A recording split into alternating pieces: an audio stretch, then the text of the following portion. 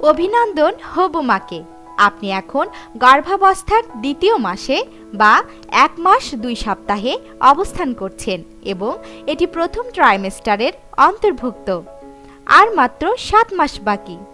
গর্ভাবস্থার এই ষষ্ঠ সপ্তাহে এসে গর্ভধারণের লক্ষণগুলো আপনার শরীরে পুরোপুরি দৃশ্যমান। যেমন খাবারে অরুচি মেজাজের উঠানামা বমি বমি ভাব, স্তনে নরম ভাব ইত্যাদি। একই সাথে আপনার বাচ্চার শরীরেও খুব দ্রুত উন্নতি ঘটছে। বিশেষ করে গুরুত্বপূর্ণ কিছু অঙ্গ যেমন হৃৎপিণ্ড, ফুসফুস, কিডনি, মস্তিষ্ক, মেরুদণ্ড ইত্যাদির বিকাশ ঘটছে। এক থেকে আট সপ্তাহকে গর্ভাবস্থার প্রাথমিক সময়কাল হিসেবে গণ্য করা হয়। তাই এই সময়টাতে আপনার বাচ্চাকে বলা হয় ভ্রূণ।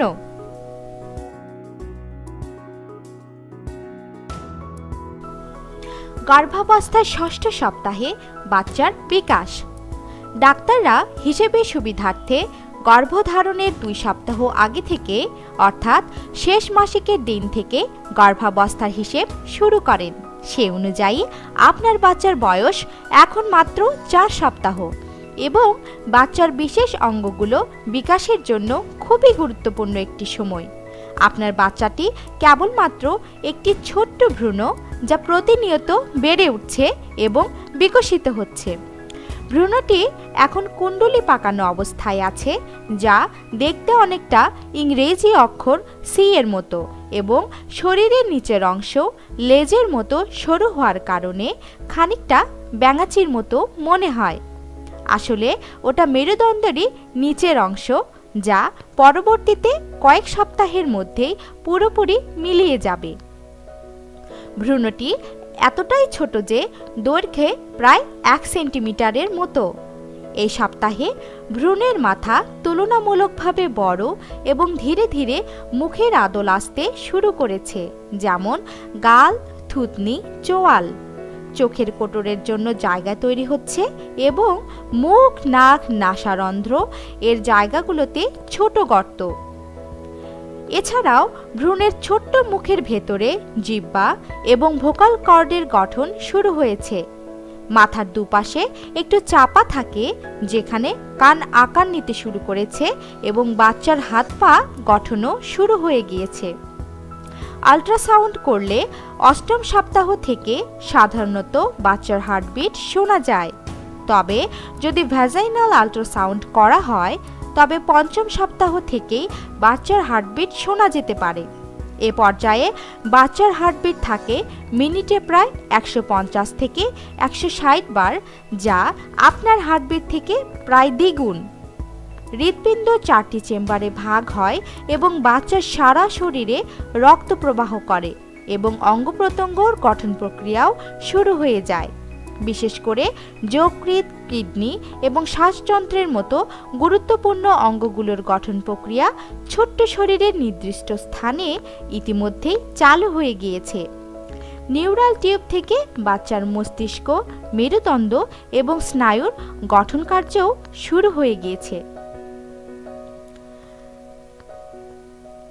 গর্ভাবস্থায় যমজ বাচ্চা থাকলে আপনার গর্ভে যদি একের অধিক বাচ্চা বেড়ে উঠতে থাকে, সেক্ষেত্রে বেশ কিছু গর্ভাবস্থার জটিলতা দেখা দেওয়ার সমূহ সম্ভাবনা রয়েছে, যেমন রক্তশূন্যতা preeclampsia gestational diabetes twin to twin transfusion syndromes অর্থাৎ যে ধরনের সমস্যায় এক বাচ্চা শরীরে রক্ত পায়, আরেক বাচ্চা পায় না।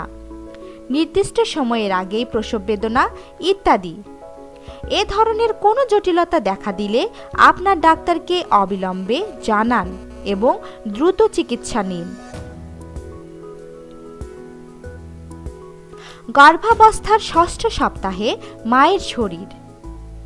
এক, স্তনে নরম ভাব ও সংবেদনশীলতা।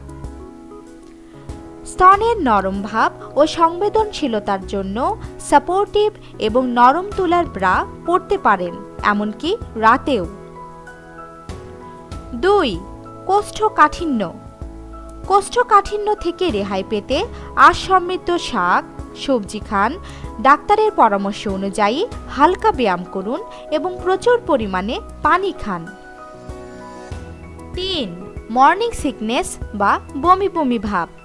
National collaborating centre for children's and women's হেলথের তথ্য মতে, প্রায় আশি থেকে পঁচাশি ভাগ মহিলাদের গর্ভাবস্থায় বমি বমি ভাব থাকে, যার ভেতরে প্রায় বান্ন পার্সেন্ট মহিলাদের গর্ভাবস্থার ফার্স্ট ট্রাইমেস্টার বা প্রথম ত্রৈমাসিক পর্যন্ত সাধারণত বমি ভাব থাকে। গর্ভাবস্থায় এমন অনেক মহিলা আছেন যাদের মর্নিং সিকনেস শুধু সকালেই সীমাবদ্ধ থাকে না। সারাদিন ব্যাপী চলতে থাকে। এই বমিভাবের কারণ সঠিকভাবে নিরূপণ করা না গেলেও গর্ভবতীদের শরীরে হিউম্যান ক্রনিক গোনাডোট্রফিন হরমোন বা এইচসিজি বৃদ্ধির কারণে এটা হতে পারে। বমি বমি ভাব এড়াতে একেবারে বেশি পরিমাণে না খেয়ে অল্প অল্প করে কিছু সময় পরপর খাবার খান এবং বেশি তেল, মশলা জাতীয় খাবার খাবেন না। খাবার গ্রহণের পরপরই শুয়ে পড়বেন না। হার্বাল চা খেতে পারেন এবং dry fruits, salty snacks, biscuit ইত্যাদি আপনাকে বমি থেকে কিছুটা রিলিফ দিতে পারে। যদিও এক এক মহিলাদের ক্ষেত্রে গর্ভধারণের জটিলতা এক এক রকম। চার, মুড সুইং বা মেজাজের উঠানামা। গর্ভকালীন সময়ে হরমোনাল পরিবর্তনের কারণে মুড সুইং হতে পারে। এ সময়ে হঠাৎ করে রেগে যাওয়া বা অতিরিক্ত আবেগপ্রবণ হয়ে কেঁদে ফেলা অস্বাভাবিক কিছু নয়। বিভিন্ন পজিটিভ, নেগেটিভ চিন্তা বা অনাগত বাচ্চাকে নিয়ে নানা চিন্তা এ সময় মায়েদেরকে ঘিরে ধরে। আবার কিছু কিছু মায়ের ভেতরে অতিরিক্ত উদ্বেগ, অভিমান কিংবা গর্ভকালীন হতাশও দেখা দিতে পারে। ডাক্তারের চেম্বার। গর্ভাবস্থার প্রাথমিক অবস্থাতেই একজন অভিজ্ঞ স্ত্রীরোগ বিশেষজ্ঞের শরণাপন্ন হন এবং তার কাছেই পুরো গর্ভাবস্থা নিয়মিত চেক করান। ডাক্তারের কাছে যাওয়ার আগে অবশ্যই কিছু কিছু বিষয়ে প্রস্তুতি নিয়ে যাবেন। সেগুলো হলো, আপনার শেষ কবে বা কত তারিখে মাসিক হয়েছিল? দুই, পূর্বে যদি আপনি গর্ভবতী হয়ে থাকেন বা আপনার যদি কোনো বাচ্চা হয়ে থাকে, সে সংক্রান্ত যাবতীয় তথ্যাদি। তিন, আপনার বা আপনার সঙ্গীর পরিবারে যদি গর্ভাবস্থা সংক্রান্ত কোনো অস্বাভাবিকতা থেকে থাকে বা এর আগে যদি কোনো গর্ভপাত হয়ে থাকে অথবা পারিবারিক সূত্রে কোনো অসুখ যেমন ডায়াবেটিস যদি কারও থেকে থাকে, এই সংক্রান্ত যাবতীয় তথ্য। চার আপনি যদি অন্য কোনো রোগের চিকিৎসা নিতে থাকেন, তাহলে তার প্রেসক্রিপশন সাথে নেবেন। পাঁচ, পূর্বে যদি কোনো অপারেশন হয়ে থাকে, সে সম্পর্কে জানাবেন। ছয়, কোনো প্রকার শারীরিক বা মানসিক সমস্যা থাকলে জানাবেন। এছাড়াও, আপনার যদি কোনো প্রশ্ন জিজ্ঞেস করার থাকে, সেটাও আগে থেকে কোথাও লিখে রাখতে পারেন। সব থেকে ভালো হয় যদি একটা ডায়েরি রাখেন প্রেগনেন্সি সংক্রান্ত সকল বিষয় লিপিবদ্ধ করার জন্য। এরপর ডাক্তারের কাছে গেলে প্রাথমিক পর্যায়ে কিছু চেক আপ করবেন। যদিও এক এক ডাক্তারের রুগী দেখার ধরন এক এক রকম। তারপরও বেসিক কিছু চেক রয়েছে, সেগুলো মোটামুটি সব ডাক্তাররাই করে থাকেন। সেগুলো হলো, এক, আপনার ওজন হার্ট রেট এবং ব্লাড প্রেশার চেক করবেন। দুই, আপনার রুটিন ব্লাড টেস্ট এবং ইউরিনারি টেস্টের জন্য ইউরিন স্যাম্পল দিতে বলবেন। তিন, আপনার পেলভিক পরীক্ষা নিরীক্ষার সময় ডাক্তার আপনার vagina, uterus, pelvis, fallopian tube এবং ওভারি চেক করে দেখবেন। চার আপনার পূর্বে যদি কোনো অপারেশন হয়ে থাকে বা কোনো রোগের যদি চিকিৎসা নিয়ে থাকেন বা বর্তমানে যদি কোনো রোগের জন্য নিয়মিত ওষুধ সেবন করে থাকেন, তাহলে ডাক্তার সেসব প্রেসক্রিপশন বা যাবতীয় রিপোর্ট দেখতে চাইতে পারেন। তাই আগে থেকেই সেগুলোর প্রস্তুতি নিয়ে রাখুন। এছাড়াও গর্ভাবস্থার ষষ্ঠ সপ্তাহে ডাক্তার আল্ট্রাসাউন্ডে দেখবেন যে আপনার বাচ্চা জরায়ুর যথাস্থানে বসেছে কিনা, এমনকি আপনি নিজেও বাচ্চার আকার আকৃতি দেখতে পারবেন। বাচ্চাটি এখন আকারে অনেকটা মোটর দানার মতো। এ পর্যায়ে বাচ্চাটির হার্টবিট শোনা যাবে। তবে বাচ্চা ছেলে না মেয়ে তা নির্ধারণ করা এখনই সম্ভব হবে না। কারণ এখনও বাচ্চার লিঙ্গ গঠন শুরু হয়নি। মিসক্যারেজ বা গর্ভপাত। গর্ভাবস্থার ষষ্ঠ সপ্তাহকে বিপজ্জনক সময় হিসেবে বিবেচনা করা হয়। গর্ভপাত ঘটার কারণে অনেক মায়েদেরই এ সপ্তাহে এসে গর্ভপাত হয়ে থাকে, যা খুবই দুর্ভাগ্যজনক। তাই গর্ভপাতের কারণ, লক্ষণ এবং প্রতিকার জানা থাকলে এ ধরনের দুর্ঘটনা অনেকাংশেই এড়ানো সম্ভব। গর্ভপাতের কারণ। এক, অতিরিক্ত শারীরিক তাপমাত্রা বেড়ে গেলে, অর্থাৎ আটত্রিশ ডিগ্রি সেলসিয়াসের বেশি হলে। দুই, মূত্র বা জননাঙ্গে কোনো ইনফেকশন দেখা দিলে।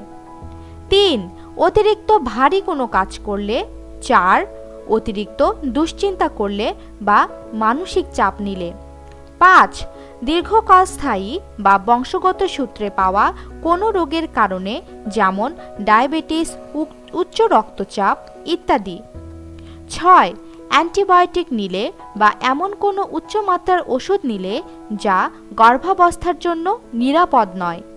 গর্ভপাতের লক্ষণ। এক, কালচে রঙের স্রাব নির্গত হলে। দুই, তলপেটে ব্যথা অনুভূত হলে। তিন, কোমরে ব্যথা হলে। চার, ঠান্ডা লাগলে। পাঁচ, মাসিক হলে। এটা খুবই জরুরি যে, যদি কোনো মহিলা লক্ষ্য করেন যে, তার স্রাব অনেকটা মাসিকের মতো, তাহলে দেরি না করে অতি সত্বর যেন ডাক্তারকে জানায়। যদি ডাক্তারের চেম্বার খোলা নাও থাকে, তারপরও যেন কাল বিলম্ব না করে ডাক্তারের সাথে যে কোনো উপায়ে যোগাযোগ করেন। গর্ভপাতের প্রতিকার। এক পজিটিভ থাকুন। সকল প্রকার দুশ্চিন্তা থেকে নিজেকে বিরত রাখুন।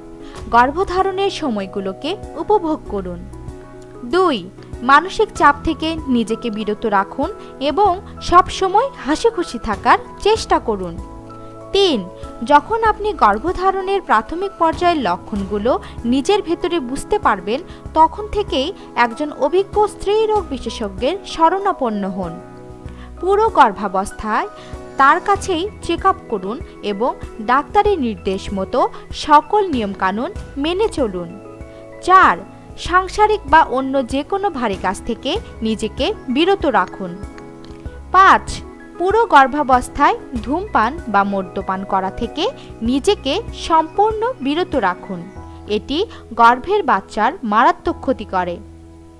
ছয়, কফি খাবেন না, কারণ এটিতে থাকা ক্যাফেইন মায়ের শরীরে আয়রন শোষণে বাধা প্রদান করে।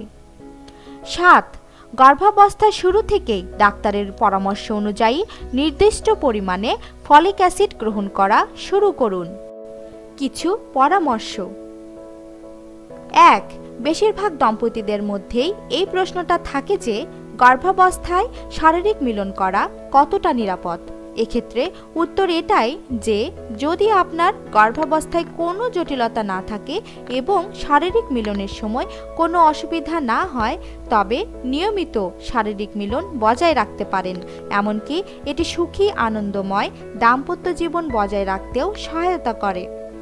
দুই, অনেকেই প্রেগনেন্সি পজিটিভ আসলেই সবাইকে জানিয়ে দেয়, কিন্তু এত তাড়াতাড়ি এই সুখবরটি না জানানোই ভালো। কারণ গর্ভাবস্থার প্রথম সপ্তাহের দিকগুলোতে গর্ভপাত বা একটোপিক প্রেগনেন্সির সম্ভাবনা থাকে, যা খুবই অনাকাঙ্ক্ষিত। তাই কিছুদিন অপেক্ষা করে জানানোই ভালো। তিন, সবসময় হাসি খুশি এবং দুশ্চিন্তা বা মানসিক চাপ মুক্ত থাকার চেষ্টা করবেন। মনে রাখবেন, আপনি যা করবেন তার প্রভাব কিন্তু আপনার অনাগত সন্তানের উপরেও পড়বে। তাই পরিবারের অন্যান্য সদস্যদেরও উচিত গর্ভবতী মাকে সবসময় হাসি খুশি রাখতে সহায়তা করা।